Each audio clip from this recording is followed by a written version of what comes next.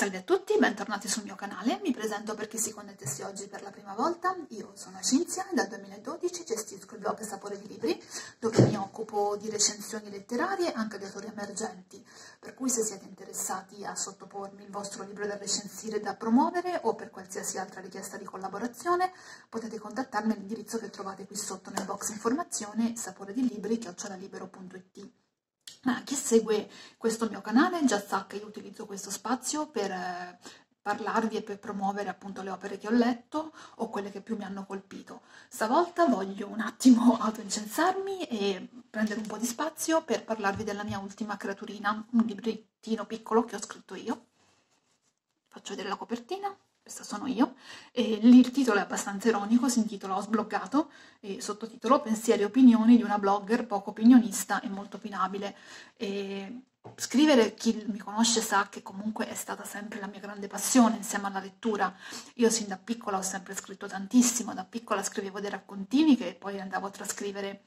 su un quaderno e purtroppo questi quaderni poi sono andati persi, è una cosa che comunque mi dispiace perché avrei voluto rileggere quello che scrivevo all'epoca, anche perché avevo tantissima fantasia, che adesso la fantasia che avevo da bambina me la sogno. Poi crescendo scrivevo diari, che anche quelli purtroppo non so che fine abbiano fatto, e con l'avvento del PC ho cominciato a scrivere sul PC e ho archiviato, quindi non ho mai cancellato niente di fatto di quello che scrivevo, per cui ho degli scritti risalenti veramente a 15 anni fa. E non li ho mai cancellati perché dentro di me ho sempre pensato che prima o poi magari avrei potuto pubblicarli, anche se di fatto non mi sono mai sentita all'altezza di essere scrittrice, proprio perché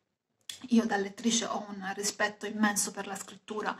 quindi ho detto no, ma io non, non posso scrivere e mettermi all'altezza, che ne so, di, di, scrittori che veramente hanno, come Leopardi, non so, che hanno scritto veramente, loro meritano di essere chiamati scrittori, io eh, no. Però poi... Mh, corso, nel corso degli anni, col fatto che è diventato più semplice pubblicare libri, perché comunque adesso è più semplice e anche meno, meno, dispendioso, per cui veramente pubblicano chiunque, e gente che magari non ha mai letto un libro, gente che non sa neanche parlare italiano, per cui ho detto ma se lo fanno loro, ma perché non lo faccio io? Alla fine cioè, cos'è che ho meno di loro? E per cui appunto ho, iniziato a prendere in considerazione quest'idea. Poi nel corso degli anni, eh, visto che io comunque sui social sono molto attiva e lì veramente ogni tanto mi è capitato di pubblicare qualche mio pensiero, e mh, molti dei miei amici virtuali e non mi hanno detto ma però insomma sei brava, scrivi cose interessanti, scrivi, insomma ci piacciono i contenuti, ci piace come scrivi, ma perché non pubblichi, ma perché non scrivi un libro? Me l'hanno detto uno, me l'ha detto due, me l'hanno detto tre, alla fine ho detto ma sai che c'è, magari io mh, mm, veramente ci provo perché può uscire magari qualcosa di, di, carino. E ovviamente non ho scritto un romanzo perché per scrivere un romanzo ci vuole, credo veramente, delle, delle basi che io non mi sento di avere anche a livello tecnico per cui ho detto vabbè no, non sono al momento veramente all'altezza di scrivere un romanzo, però ho scritto diciamo questi pensieri che avevo, ho messo insieme questi pensieri che avevo raccolto nel corso degli anni col fatto che c'è stato che c'è adesso la quarantena per cui siamo bloccati in casa, li ho risistemati, li ho corretti e li ho alla fine pubblicati. E quindi è una raccolta di pensieri e alcuni più brevi, altri un po' più lunghi, alcuni proprio semplici aforismi, altri invece un po' più, più complessi, e piccoli raccontini, aneddoti di vita vissuta, quindi proprio istanti che io ho fotografato con la mente e poi ho rimesso nero su bianco per non dimenticarmeli, appunto per tenermeli sempre con me, perché magari mi ha colpito quel momento oppure mi ha colpita la persona. E fra tutti questi c'è una persona che più di tutti mi ha colpito e la persona in questione la trovate nel racconto La rivincita di Giorgio, perché quel ragazzo davvero mi è rimasto nel cuore. Lui lo sa perché quando ho avuto modo di parlargli gliel'ho proprio detto a voce se lui mai dovesse, mai dovesse, leggere questo libro, dovesse leggere il suo racconto e riconoscersi, insomma, spero che la cosa gli faccia piacere perché veramente si merita tutto, perché è un ragazzo dolcissimo, un ragazzo che merita tanto. E poi ci sono anche riflessioni sulla vita, riflessioni appunto sulla società, su quello che sta succedendo al momento, sul coronavirus, un po' di tutto. Quindi diciamo che ci sono due parti, la parte di me un po' più giocosa, un po' più scherzosa, più ironica, e invece la parte di me anche un po' più introspettiva, che gli piace analizzare le cose, perché di fatto io mm, sono questa, chi mi conosce lo sa, sono una persona molto ironica, molto anche scherzosa, però allo stesso tempo molto, molto introspettiva, piace, insomma, una persona a cui piace comunque andare a fondo nelle cose e non fermarsi alla superficie. E questo libro l'ho scritto tutto io, quindi l'ho scritto, l'ho redatto, l'ho, mm, controllato, l'ho, ho fatto la copertina, ho fatto tutto e da sola. Mm, sono andata, l'ho riletto 20.000 volte, sono andata a pubblicarlo, una volta che l'ho pubblicato l'ho riletto nuovamente e mi sono accorta che c'erano dei refusi.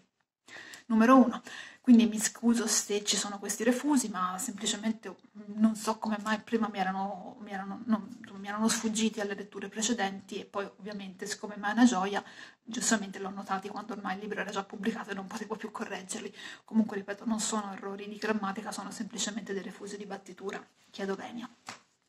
Il libro è stato pubblicato su Amazon, e per il momento soltanto in versione ebook, poi più avanti vedrò se è il caso appunto di abbinare anche la versione cartacea. E per chi non, non, non avesse appunto a disposizione un e-reader, quindi un ebook o un Kindle, il problema si può ovviare scaricando dal Play Store del telefono l'applicazione che si chiama Kindle, proprio scritto Kindle, quindi la scaricate sul telefono, ve, le, ve la installate sul telefono, poi da lì eh, digitate appunto il mio nome e cognome oppure il titolo sbloccato e ve lo scaricate e ve lo leggete sul, direttamente sul cellulare, tanto sono una sessantina di pagine, insomma si legge abbastanza velocemente. Il prezzo e ho messo il prezzo più basso che potevo mettere, 99 centesimi, quindi il prezzo di un caffè. E vabbè al massimo rinunciate insomma a un caffè al giorno e detto da una che se ne beve 15 al giorno è tutto dire rinunciate al caffè vi leggete il mio librettino e insomma mi fate sapere quello che ne pensate. E, e ripeto e non voglio incensarmi tanto non voglio appunto eh, elogiarmi perché non, non, non sono una persona che si elogia anzi mi sono sempre per mia natura andata a diciamo, autodistruggere, cosa che non voglio più fare, però insomma ci tengo a, visto che comunque ci ho messo tanta passione, mi farebbe piacere che lo, legge, insomma, che lo leggiate, soprattutto in questo periodo di quarantena, magari vi può, vi può, tenere compagnia in queste lunghe giornate, poi vi ripeto, comunque si legge velocissim, velocissimamente. E appunto se vi va di farmi sapere cosa ne pensate, quale racconto vi è piaciuto di più, insomma critiche,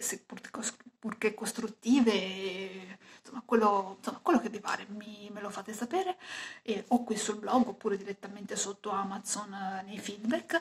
E niente, io vi ringrazio di avermi ascoltato, vi invito nuovamente a leggere il mio libro, questo è,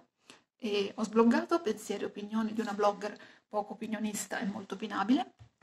e vi ricordo poi il mio blog per chi volesse appunto leggere le recensioni, che è quello che, di cui mi occupo principalmente, Sapore di Libri, www.saporedilibri.blogspot.com e vi ringrazio di avermi ascoltato, vi auguro una buona giornata, una buona serata, sempre